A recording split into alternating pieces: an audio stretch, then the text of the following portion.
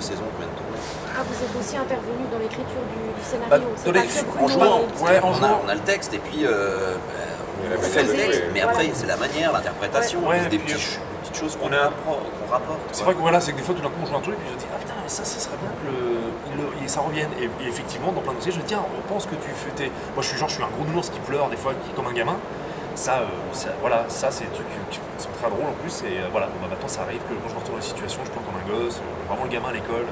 C'est drôle, le duo de 1m90. euh, Voilà. Vous, vous venez de dire que vous avez tourné deux saisons, mais combien d'épisodes. Il y a 400 épisodes. On est en train de finir les. C'est un drôle de rythme de tournage, non Donc, C'est génial. bon, mais c'est une super école. Ouais, ouais, ouais. Pour un acteur, c'est vraiment une Comme c'est.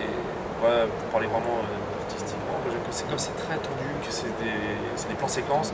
Pour nous, ça nous, on va à l'essentiel et on passe des fois par trois, euh, trois émotions euh, très rapidement parce qu'on monte En un minute. euh, en une minute.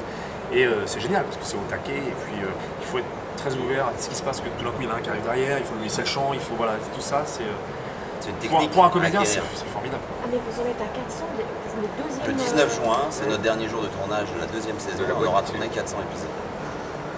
Il y a eu commenceront à passer 700 en de la septembre. première saison. 700 la première et 400 Et là, la deuxième. Et là, à 400 la deuxième, en un an et demi. Et comment s'appelle Enfin, le, le titre, ce sera quoi? Caméra Café, la boîte du dessus. La boîte du dessus. Ouais, Ouais. d'accord. Euh, la diffusion, vous savez déjà la date exacte? Septembre. La date exacte, non, mais euh, La rentrée. M6 l'a annoncé pour la rentrée. Ok. je crois que Bruno Solo était pas mal. Avant, vous en avez parlé. Est-ce que c'est un directeur d'acteur exigeant? Très. Très exigeant. Et il a raison d'être. Parce que c'est aussi son bébé, donc euh, il, il lâche rien, euh, Bruno. Et, et- on a quelqu'un en face de nous qui a une énergie, qui déploie une énergie sur le projet qui, est complètement communique. Voilà, enfin, vous avez compris. Et, euh, et du coup, ça vraiment, ça nous nourrit. Et, quand euh, ça va pas, et ben, il peut se mettre en colère, mais on sait que c'est pour le projet. Et quand ça va, il vient, il nous prend dans les bras, il nous embrasse et il est heureux. Et donc, c'est quelqu'un qui C'est est vrai entier. que- Et il a dirigé, je ne sais plus combien, beaucoup sur la première saison. Là, il n'a plus du tout été là sur la deuxième, à part une session. Et euh, il- la, la première. Ça, c'est Karimada. Ouais, là, c'est Karimada qui jouait Vince dans la série, qui est devenu le réalisateur de la deuxième. Eu Artus de Pergen Et dirigeait dans la première, c'était Arthur de Medgar. Mais euh, ouais, ouais, non, c'est- Et euh, c'est vrai que je- vraiment, je le dis, Bruno a été formidable pour ça et, et c'est un- c'est incroyable l'énergie, je le dis, parce que euh, je ne le connaissais pas c'est comme ça, évidemment, je ne le connaissais pas du tout d'ailleurs. Mais voilà, c'est qu'il est, il, il amène tout le monde, quoi. c'est un mec qui tire tout le monde vers le haut. Ah, c'est assez vraiment. impressionnant et quand on a des coups de mou, il est boost et il est très très ouvert à tout. Il sait, même le figurant qui passe derrière, au moment où il va regarder la prise, il va penser au mec derrière, il va dire attention, c'est assez incroyable. C'est euh, pas usant pour un acteur d'être toujours. euh, bah non, et puis euh, je sais pas. Bah, forcément, il y a des jours euh, qui sont plus difficiles que d'autres parce qu'on tourne quand même 4 épisodes par jour, c'est de 9h à 19h, 18h, donc c'est, il faut être euh, drôle tout le temps. Enfin, on va dire. Donc c'est vrai que c'est, c'est vrai que c'est épuisant, mais en même temps c'est tellement euh, jubilatoire, Jubilatoire, et, bien sûr. et on s'entend tellement bien là, l'équipe euh, et artistique et technique. et- Ouais. Voilà, ne cherchez pas à vous dire que ça, les gens s'entendent pas. en fait, non, non, Non, non, c'était on super ambiance. C'est vrai, c'est- non, mais pour dire C'est que éclaté. personne se connaît, c'est- se connaissait, et puis en- vraiment, c'est pareil, ce que tu disais, c'est l'espèce de famille. Oui, ça, euh, c'est pareil partout. C'était le cas dans l'ancienne euh, euh, saison. C'est le cas dans, toutes les- dans tous les pays où euh, Caméra Café existe. euh, C'est comme une troupe de théâtre en fait. ça crée une troupe et un esprit de famille extrêmement fort avec des, des- des gens qui ne se connaissaient pas avant, qui, euh, dès que le tournage est fini, se retrouvent. euh, ils sont super contents quand ça reprend. Enfin, il y, a- y a- y a un truc. Ouais. Il y a une alchimie. Et puis on- dans le et puis- programme, euh, qui tient au sujet ou au flux, euh, flux tendu? Du je pense que c'est évidemment la, la manière dont c'est produit, mais c'est aussi euh, probablement la manière dont on, dont on constitue les équipes, dont on caste, les, euh, le, le talent des comédiens pour incarner ces, ces gens qui, euh, qui, à la fois sont ignobles les uns avec les autres, mais en fait fondamentalement ont quand même un truc qui les rend attachants. Je sais pas, c'est très difficile à. Non mais chez à il y a aussi ça. C'est-à-dire que, regardez, Camelot, c'est une famille, mais vraiment une famille. Le père, la mère, le- les enfants. Bruno et Yvan, ils se connaissaient depuis 20 ans sur Caméra Café. Vous les femmes, Olivia et Judith, Olivia Côte et Judith Siboni, ça fait 17 ans qu'elles se connaissent.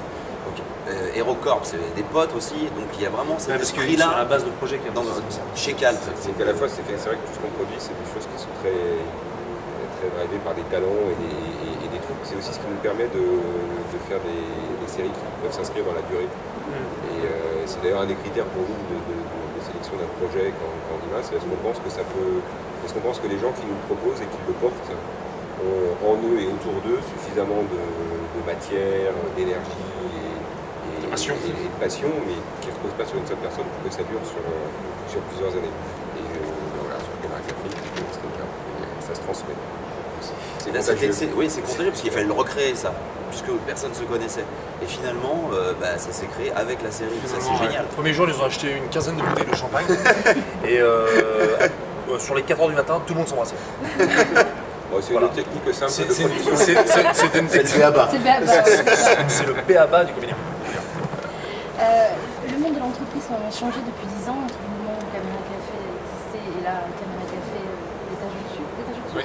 La, la boîte, Euh, la boîte, la boîte au-dessus, pardon. Euh, Est-ce que ça change du coup sur les scripts, je- je- sur les relations entre les personnages sur Bah, une fois tout ça encore, c'est c'est pour ça qu'on a changé la, la- le- la caractérisation des personnages. euh, mais j'ai plus l'impr- l'impression que ça, ça change l'apparence de caractérisation des personnages.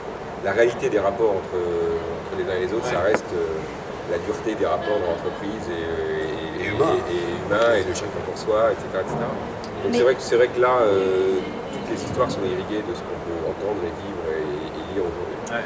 clairement. Euh, Avec cette peur peut-être du chômage. avec la, Bien sûr, avec bien la sûr, peur du chômage, avec la crise, avec Il y a eu la plein de sketchs là-dessus. démocratisation, avec euh, Les le- licenciements abusifs, euh, Séquestration. les séquestrations. euh, Le ah oui, réchauffement on- climatique, on en a Forcément, les auteurs s'inspirent vraiment de la. Genre, on enlève la Ah, clim parce que c'est le réchauffement climatique, alors tout d'un coup, euh, on arrive fait dans moins dans 15, le- il, fait, euh, il fait- il fait- où il fait chaud, dans Ouais. les sketchs. Ouais, ouais, c'est clair. Et les guests, euh, des, des- des invités qui- Georges Clooney qui, est- qui vient là. Antonio Banderas aussi. Antonio Banderas, c'est. Antonio euh, Banderas, c'est- il le fait Ah mais attendez, vous allez qui va le faire aux C'est la États-Unis. boîte du dessus, ok. Il y a même Spider-Man. Spider-Man vient habillé en Spider-Man. là. Non, mais plus sérieusement, est-ce qu'il y a des, des acteurs invités Bah, on a eu ceux du dessous. Mais Voilà. à part eux, Bah, je suis, on a eu on a eu Michel Crémades, qui est Chic Ortega. Chic Ortega. Ortega. Là, sur cette première Mais saison, l'idée était quand même d'installer. euh, il n'y avait pas énormément de, voir de si guests sur les premières saisons de Caméra Café. Là, l'idée est qu'on a, quand même- on a quand même 17 comédiens à, à- et donc tourner, 17 quoi. nouveaux personnages à, à 17. faire exister. Et euh, on a largement la matière, mais euh, c'était Pour pas le sujet pour l'instant. Et en dehors du tournage, est-ce que, est-ce qu'il vous arrive de retrouver justement sur le tournage autour d'un café Qu'est-ce qui se raconte?